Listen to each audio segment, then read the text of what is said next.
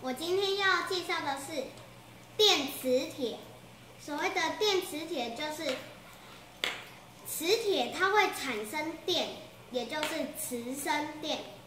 好，我们今天要做的实验的材料有七包线，就是我们所谓的线圈，还有电线，但是我们电线可以用。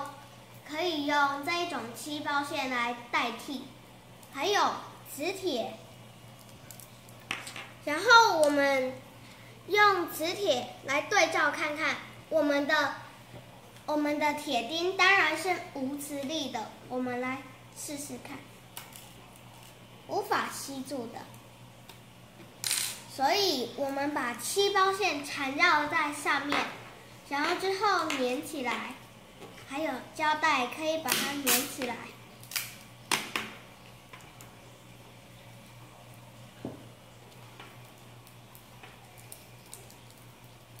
然后之后它就会依照这一条线来传递，然后就可以来吸了，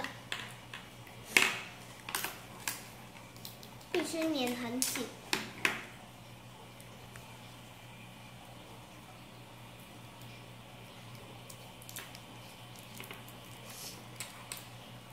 然后就可以开始吸了，嗯，这样子它就会吸起来了。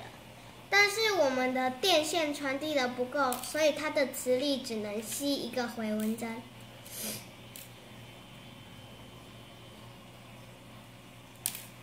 谢谢大家。